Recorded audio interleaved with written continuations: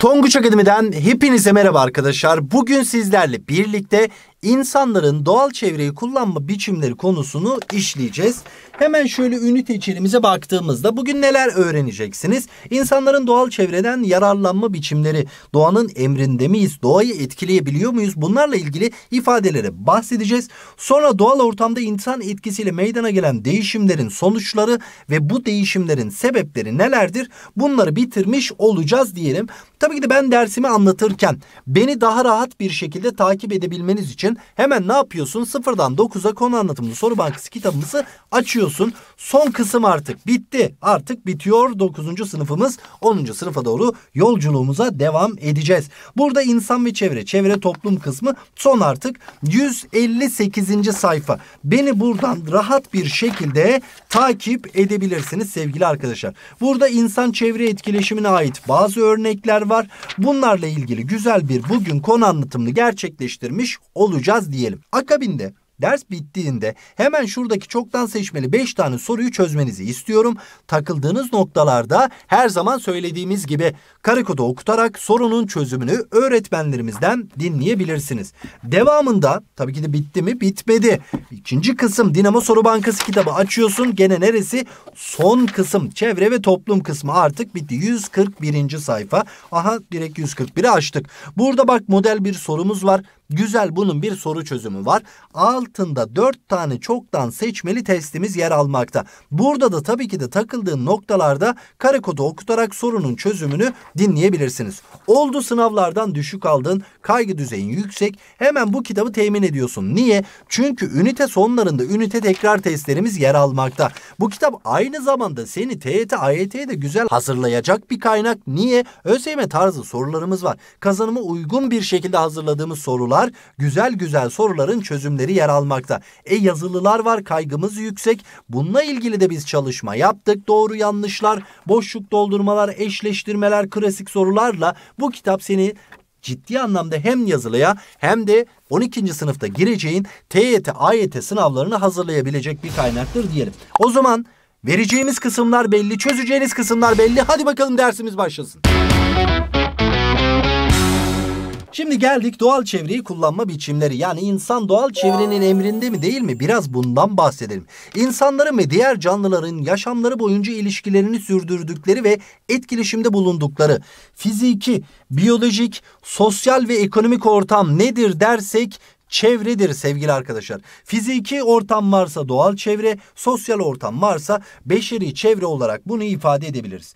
Tarihsel süreç içerisinde baktığımızda sevgili arkadaşlar özellikle insanların ihtiyaçlarını karşılamak için doğadan yararlandığını söyleyebiliriz. İnsanların her ihtiyacı bir ekonomik faaliyetin ortaya çıkmasına neden olmuştur. Beslenme ihtiyacı, tarım ve hayvancılık, barınma ihtiyacı, inşaat, iletişim ve ulaşım ihtiyacı, yol yapımı, haberleşme, çeşitli araç gereç ihtiyacı sanayi faaliyetlerinin ortaya çıkmasına sebep olmuştur diyebiliriz. Peki insanlar çevre anlamında ilk olarak nerelerden faydalanmıştır dersek beslenme ihtiyacı tarım ve hayvancılık faaliyetleri dedik ya biraz önce. Mesela Sarıırmak, Gökırmak nehirleri etrafında Çin medeniyeti kurulmuş ve bu doğal çevre üzerinde bazı ihtiyaçlarını gidermiştir diyebiliriz sevgili arkadaşlar. Bununla birlikte güneye baktığımız zaman Güneyde Indus ve Ganj nehirleri çevresinde Hint medeniyeti kurulmuş. Mezopotamya yani Mezo 2, Potamya akarsu 2 akarsu arası Fırat ve Dicle nehirleri arasında burada kim vardır dediğimizde Mezopotamya uygarlıkları sevgili arkadaşlar. Nil Nehri çevresinde Mısır medeniyeti, Meksika'da Aztek ve Maya medeniyetleri, bununla birlikte Şili, Peru, Bolivya hattında ise İnka uygarlıkları yer almaktadır diyebiliriz. Şimdi bunlar niye bu alanları doğal çevreyi kullanmışlardır dersek bir iklimin ılıman olduğu alanlar, su kaynakları bakımından çevresine göre zengin alanlar, tarımsal faaliyetlerde toprağın verimli olduğu alanlar olduğundan dolayı insanlar bu noktada çeşitli faaliyetleri karşılamıştır diyebiliriz. Özellikle beslenme ihtiyacı, tarım ve hayvancılık faaliyetleri, barınma ihtiyacı da inşaat iletişim faaliyetlerini iyileştirmiştir diyebiliriz. 18. yüzyılın sonlarına doğru geldiğimizde tabii ki de bir sanayileşme süreci var ve insanların ihtiyaçları artıyor ve buna bağlı olarak insanların doğal çevreyi çok daha fazla kullanmaya başlaması buna bağlı olarak da çeşitli sorunların ortaya çıkmasına sebep olmuştur diyebiliriz. Mesela atmosfer anlamında insanın etkisi ne zaman ciddi anlamda belirgin ölçektedir dersek sanayi devrimiyle ilgili diyebiliriz. Tabii ki de buna bağlı olarak bilim ve teknolojinin gelişmesi insanların doğayı etkileme gücünü de artırmıştır ve böylece insanlar doğal çevreyi kullanma biçimleri değişmiştir. Şöyle iki tane güzel görselimiz var. Burada mesela bir yol görüyoruz ve engebeli bir arazide denizin doldurulmasıyla yapılmış bir güzergah. Ama şu coğrafyaya baktığımızda engebeli bir arazide evlerin birbirinden uzak aynı zamanda ahşap formda olduğunu söylüyoruz. Yani biz doğanın emrinde miyiz? Evet belirli noktada doğanın emrindeyiz ama doğayı da etkilediğimiz durumlar var. Peki ülkelerin gelişmişlik düzeyleri doğal çevreyi etkileme üzerinde nasıl bir etkiye sahiptir dediğimizde gelişmiş ülkeler doğal sistemler üzerinde belirleyici bir etkiye sahip iken az gelişmiş ülkelerde doğal sistemler beşeri sistemler üzerinde belirleyici bir etkiye sahiptir diyebiliriz sevgili arkadaşlar. Tabii ki de bunlarla ilgili bazı örnekler var ama doğanın emrinde miyiz dediğimizde tabii ki de insanların yaşadıkları çevrenin özelliği, beslenme, barınma, sosyal, ekonomik faaliyetler gibi birçok alanda belirleyici olabilmekte. Örnek vermemiz gerekirse verimli toprakların bulunduğu alanlarda yoğun olarak tarımsal faaliyetler yürütülmekte. Çayır ve meraların geniş alan kapladığı yerlerde hayvancılık faaliyetleri, kıyı alanlarda balıkçılık faaliyetleri, Yeraltı kaynakları bakımından zengin alanlarda ise madencilik faaliyetleri gelişmiştir. O zaman bu noktada bazı durumlarda biz doğanın emrindeyiz diyebiliriz. Doğal koşullar insanların yerleşme faaliyetlerini de etkilemiştir. Nasıl dersek, biraz önceki görsele baktığımız zaman sevgili arkadaşlar, engebeli alanlarda insanlar dağınık yerleşme tipini kullanmışlardır ya da buna uygun bir şekilde yerleşme faaliyetleri yürütmüşlerdir. Yağışın özellikle kar yağışının çok yoğun olduğu alanlarda ise evler daha çok dik yapılı meskenler şeklinde gelişme göstermektedir. Konut tipleri de değişiyor. Özellikle iklimin yarı kurak olduğu alanlarda da biz kerpiç meskenleri kullanmaktayız değil mi? O zaman bu kapsamda doğa bizim belirli noktalarda faaliyetlerimizi etkiliyor diyebiliriz. Tabii ki de insanlar özellikle çevreyle uyumlu şekilde yaşarken bazı alanlarda ihtiyaçları doğrultusunda doğayı değiştirebilmekte. Özellikle sanayi devriminden sonra nüfusun ve ihtiyaçlarının hızla artması, gelişen teknoloji insanın doğaya çok daha fazla müdahale etmesine sebep olmuştur ve burada bazı örnekler var. Mesela Batman insanların çevreyi ihtiyaçları doğrultusunda değiştirebilme noktasında verebileceğimiz en güzel örneklerden bir tanesidir. Cumhuriyet'in ilk yıllarında Batman sevgili arkadaşlar Batman çayı kenarında kurulan bir köy yerleşmesiydi. Ama 1934 yılında Batman'da Raman Dağı'nda petrolün çıkarılması, 57 yılından daha sonraki süreçte işlenmesiyle birlikte yoğun bir şekilde sanayileşme sürecine girmiş, hem maden hem sanayi kenti formuna dönüşmüştür. Ve bu kapsamdan sonra yoğun bir şekilde göç almış ve değişmiştir diyebiliriz sevgili arkadaşlar. Peki dünya ölçeğinde örnek verebileceğimiz Manş Tüneli, Palmiye Adası, Kansai Havaalanı, Hollanda polderleri, Gotthard Base Tüneli, Hong Kong Zuhai Macao Köprüsü. Türkiye'de ise bunların benzerleri mesela Manş Tüneli'nin benzeri Marmaray. Onun dışında sevgili arkadaşlar Avrasya Tüneli'nde kısmen örnek verebiliriz. Biri kara biri demiryolu ulaşımı noktasında. Mesela burada Osman Gazi Köprüsü'nde gene ulaşım noktasında mesela buradaki şu Hong Kong Zuhai Macao Köprüsü ile Gotthard Base Tüneli anlamında örnek verebiliriz. Karadeniz sahil yolunu mesela polderlere örnek verebiliriz. Ordu Giresun Havalimanı'nı Kansai Havalimanı'nı örnek verebiliriz. Gene Hollanda polderlerine Maltepe Sahil Parkı'nı örnek verebiliriz sevgili dostlar. Bunu da unutmamış olalım. Gelin bunlara biraz bakalım. Hollanda polderleri. Hollanda nerede? Avrupa'nın kuzeybatısında yer almakta.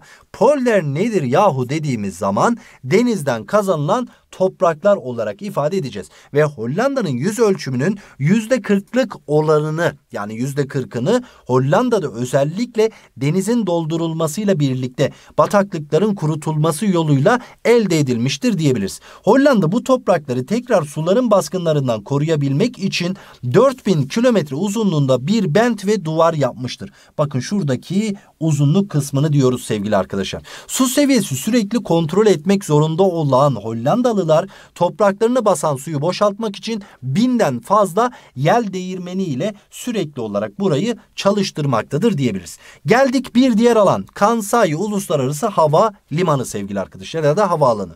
Japonya'daki Kansai Uluslararası Havaalanı Osaka Körfezi açıklarında yapay bir ada üzerine inşa edilmiş havalimanıdır. Neden? Bu ada sık görülen depremlere ve bölgenin gelgitlerine dayanıklı bir şekilde inşa edilmiştir.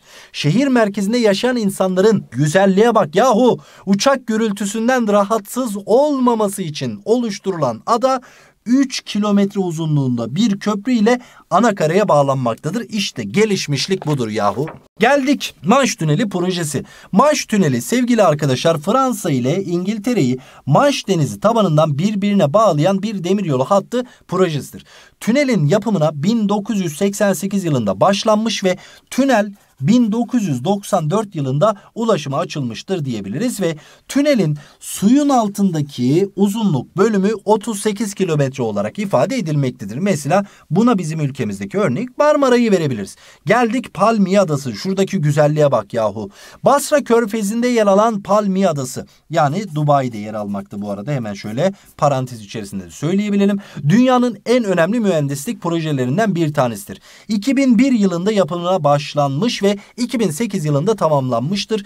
Dünyanın sevgili arkadaşlar en geniş arazi ıslah projesi olan 31 kilometre karelik ada grubu milyonlarca ton kum ve taşın körfezden ve taş ocaklarından taşınarak denizin doldurulmasıyla birlikte oluşmuştur. Adada değişik mimari formatta inşaat edilen villa ve oteller var golf sahaları var, botanik bahçeler var, alışveriş merkezleri ve marinalar bulunmakta. Palmiye Adası'nda ulaşım ise Anakara'ya bağlı iki köprü sayesinde gerçekleştirilmektedir diyebiliriz sevgili arkadaşlar. Geldik Gotthard Base. Nerede yer alıyor? İsviçre'de yer alıyor. Şimdi İsviçre Orta Avrupa'da yer alan Alp dağlarının bulunduğu dağlık ve engebeli bir ülke. Ve burada özellikle Alp dağlarının altından geçen ve Avrupa'nın kuzeyi ve güneyi arasındaki mesafeyi kısaltan 57 kilometre uzunluğa ve 2300 metre derinliğe sahip dünyanın en uzun ve en derin demiryolu tüneli projesi olarak karşımıza çıkmakta. Bu da gelişmişlik göstergelerinden bir tanesidir. Hong Kong Zhuhai Macao Köprüsü ise Hong Kong ve Macao Yarımadası'nı ana karaya bağlayan bakın 55 kilometre uzunluğundaki dünyanın en uzun deniz üssü köprüsüdür. Yaklaşık 7 kilometrelik kısmı da burada denizin altından geçmektedir diyebiliriz. Geldik Türkiye'den örnekler kısmına Marmaray. Marmaray İstanbul'un Avrupa ve Asya yakasını demiryolu hatlarını İstanbul Boğazı altından geçen bir tüp tünelle birleştiren şurada görebilmekteyiz. Halkalı ve Gebze arasında 76 kilometrelik bir demiryolu iyileştirme ve geliştirme projesidir. Bizim için asrın projelerinden bir tanesidir.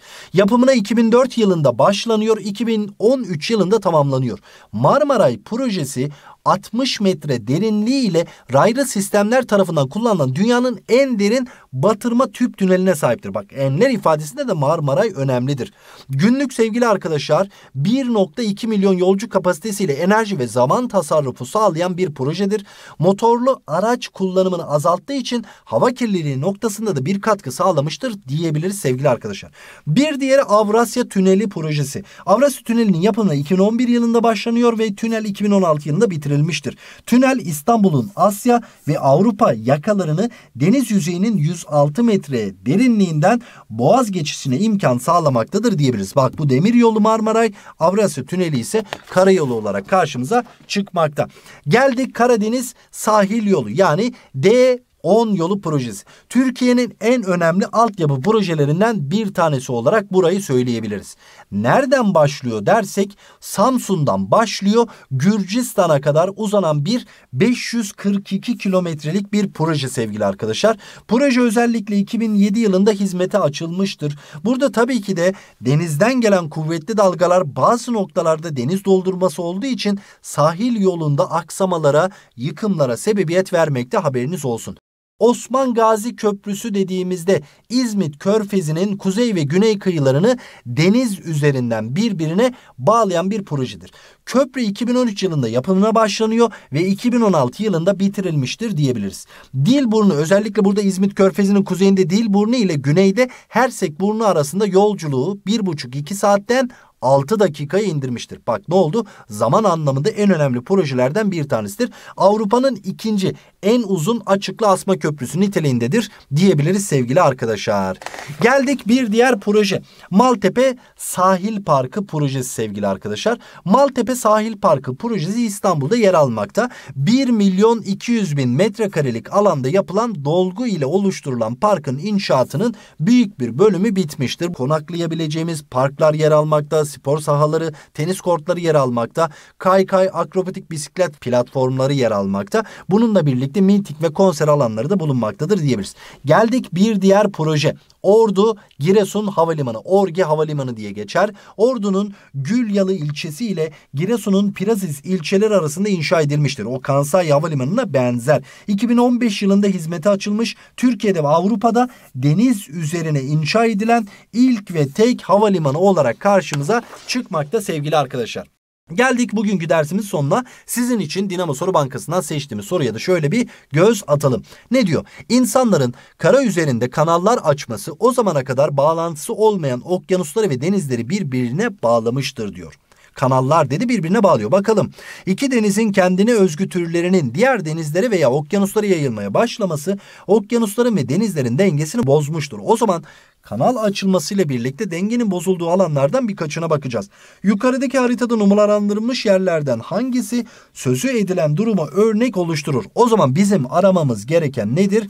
Kanal alanlarıdır. Bildiğimiz burada önemli iki tane alan var sevgili arkadaşlar. Bunlardan birincisi bir numara ile görmüş olduğumuz Panama kanalı. Bunlardan ikincisi ise 4 numarayla görmüş olduğumuz Süveyş kanalı. Özellikle Süveyş kanalının açılmasıyla birlikte Kızıldeniz içerisinde bulunan tehlikeli bir tür olan balon balığı Akdeniz'deki diğer canlı türlerini tehdit etmiştir diyebiliriz sevgili arkadaşlar. O zaman sorumuzun doğru cevabı birinci ve dördüncü maddeler olmak üzere B seçeneğidir diyebiliriz. Geldik sizinle bugünkü dersimizin sonuna. Bugün sizlerle birlikte neler öğrendik? İnsanların doğal çevreden yararlanma biçimleri. Doğanın emrinde miyiz? Doğayı etkileyebiliyor muyuz? Bunlardan bahsettik. Hemen şöyle tekrar çözmeniz gereken yerleri hatırlatmamız gerekirse. Çevre ve toplum insan çevre içerisinde 158. sayfa. Çevrenin insana etkisi, insanlığın çevreye etkisi, kullanma kabiliyeti bir diğer dersimizde anlatabileceğimiz kısımlar.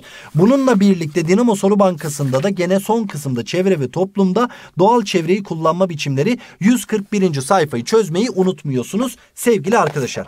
Geldik tabii ki de dersimizin sonuna yorumlarınızla ilgili ifadelere ihtiyacımız var videolarımız sizler için yararlı oluyor mu? Mutlaka bunu cevaplar kısmına bekliyorum arkadaşlar. Aynı zamanda dönemin sonuna geldik. Dönemin sonu için sizlere yapabileceğimiz ekstra çalışmalar var mı?